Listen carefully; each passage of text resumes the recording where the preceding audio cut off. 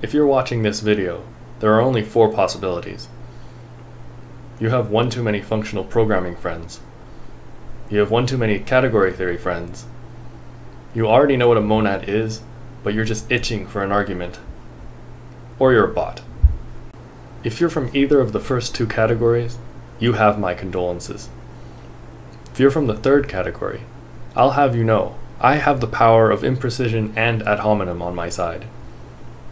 If you're from the last category, welcome to my channel.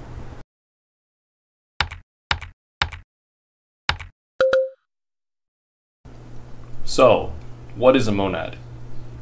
Is it a monoid object in the monoidal category of endofunctors under composition? Well, technically yes, but like most people, I don't really like that definition. Ignoring the fact that most people don't even know what this definition means, when you talk about a monoid, that gives the impression that you're interested in its action. And in this level of generality, monoids act on objects of the same category. However, when we talk about monads, we're not so interested in its action as a monoid on other endofunctors. This is why a monad is actually much better defined as an endofunctor enriched category with one object. As with all concepts, although the algebraic structure is completely dictated by the axioms, the axioms are completely dictated by how we intended to use the object in the first place. In particular, we shouldn't be asking what a monad is, but rather we should be asking what a monad is supposed to be used for. So, how is a monad supposed to be used? Well, it depends.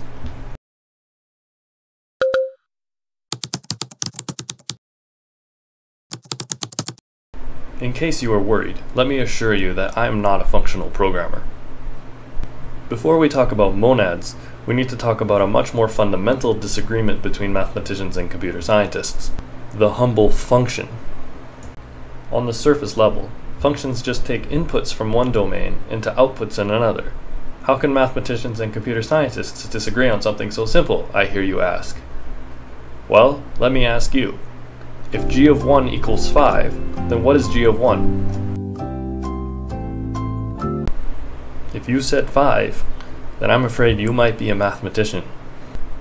The thing is, functions in the context of imperative programming have the ability to affect the global state of the program. Take the function below, for example. At first, calling call me with a value of 5 will result in 5, but then Immediately afterwards, if I call call me with a value of 5, I'm going to get not 5, but 6.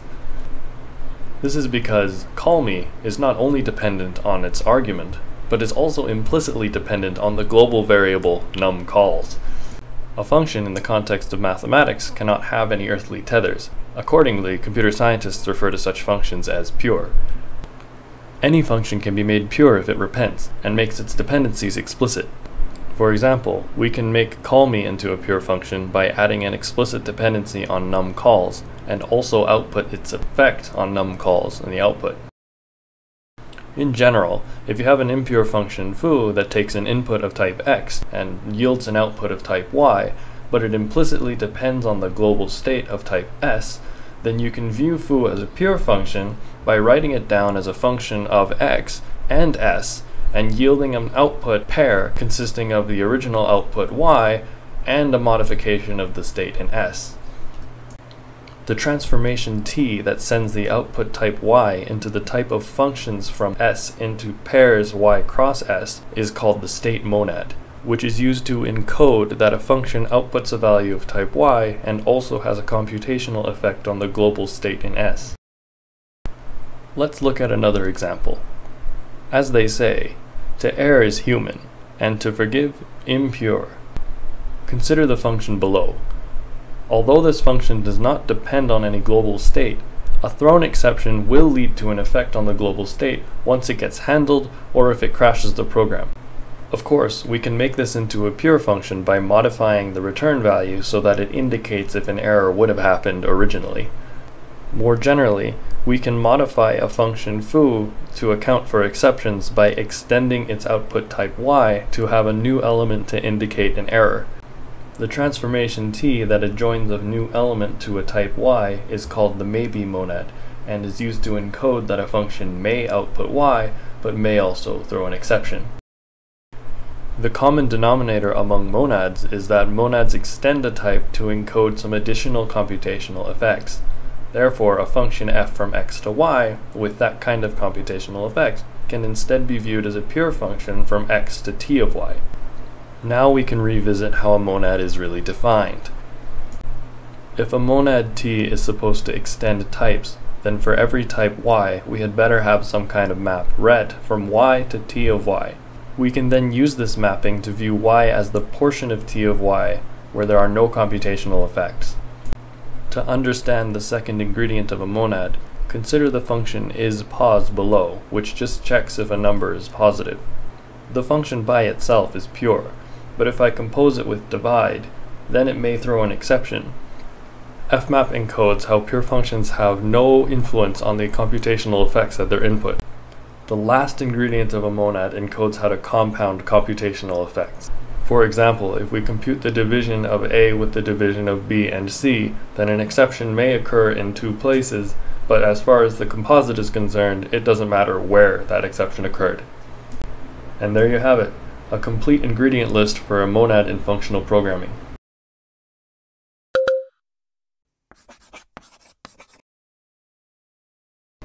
The role of monads in mathematics is to encode algebraic structure. To help this make more sense, let's consider the monad for linear algebra.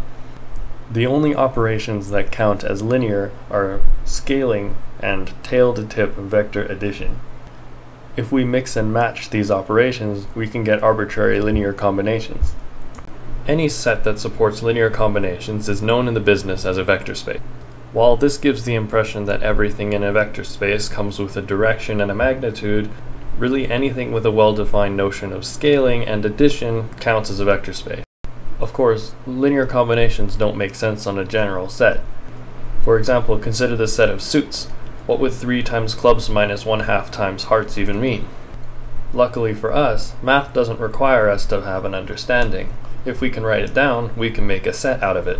So let's let Tx denote the set of all formal linear combinations of elements of x.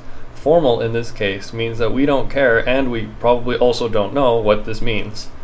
Even though 3 times clubs minus 1 half times hearts doesn't make any sense in x, it does make sense in Tx and that's good enough for us. While formal linear combinations aren't real and can't hurt you, there are some linear combinations that look eerily like the elements of x. These are the astral projections of real elements of X picked out by the unit map of our monad T. While we generally cannot make sense of linear combinations in X, we can make sense of linear combinations of linear combinations in Tx. For example, if we take U to be the linear combination 3 times clubs minus 1 half times hearts, and take V to be a different linear combination 4 times clubs plus 3 times spades, then the linear combination 2 times u plus v in Tx makes sense. In other words, we can describe a map mu which takes a formal linear combination of formal linear combinations and realize it as a single linear combination. This is the purpose of the monad multiplication. For a general monad encoding algebraic structure, the unit identifies which expressions are supposed to do nothing, while the multiplication explains how we can combine expressions in this language. So if T is the monad that formally gives linear algebraic structure to a set, then what happens if the set already has linear algebraic structure? Suppose X is the three-dimensional vector space R3. In this case, what is T of X? Well, this is a trick question. T doesn't care if X already had linear combinations. It's going to completely ignore it and add formal linear combinations instead. For example, the formal linear combination 2 times 101 minus 221 is not equal to 0 minus 2, 1 in T of R3, even though they evaluate to the same vector in R3. So what's going on? It seems that T just completely destroys any algebraic structure that's already there. Well, this is completely by design. T provides us a way of talking about linear combinations on X without worrying about what they actually mean.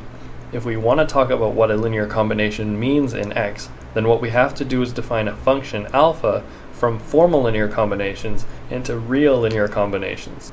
This function is called a T action, and a set equipped with a T action is called a T algebra. In general, a t-action is a way of taking formal expressions and interpreting them in the original set.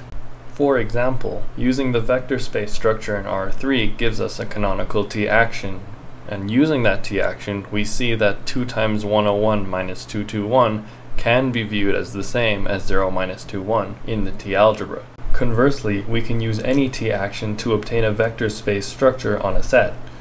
In particular, we see that vector spaces are precisely the algebras for the linear algebra monad.